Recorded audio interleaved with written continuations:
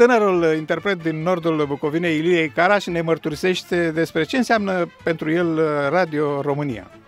Pentru mine Radio România este a doua casă. Aici, de aici noi am pornit. Radio România pentru noi este și mamă și tată, ne-a adus în lume și datorită radioului noi am ajuns cunoscuți peste tot în țara asta mică.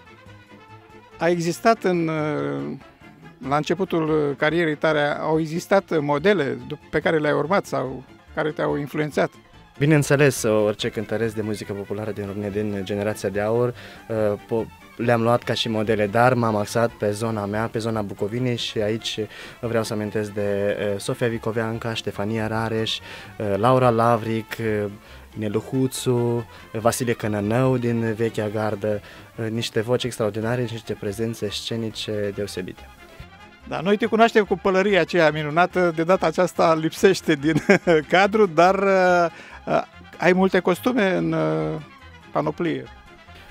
Am, pot, pot să mă plâng că nu am, am, dar port doar trei care mi-s dragi mie și care mă prind și la față. că în rest uh, sunt destul de multe. Ai fost tentat uh, la început să cânti și alte genuri în afară de muzică populară? Eu sunt un băiat de la țară, m-am născut și trăiesc uh, cu folclorul în inimă și în suflet.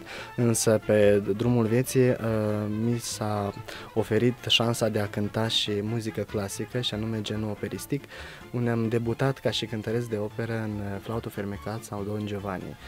Dar pentru că folclorul este prima mea dragoste și eu, cum sunt un băiat de la țară, credincios și cu tradiția în suflet, am rămas pe folclor un băiat de la țară, dar cu studii muzicale. Uh, câte albume ai reușit să înregistrezi până în prezent? Nu am înregistrat albume, am făcut uh, câteva compilații cu diferiți interpreți, uh, dar dacă mi-a ajutat Dumnezeu, primăvara asta voi lansa primul meu album, însă pe lângă tot ce am înregistrat, am și înregistrări în radio, făcute aici în radio la dumneavoastră. Și la radio Antena Statelor ești prezent des?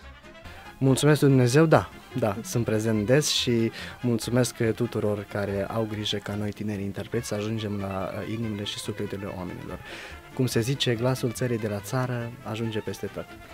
Îți dorim uh, succes pe drumul cântecului popular și în încheiere te-aș ruga să adresezi un gând uh, pentru ascultătorii antenei satelor.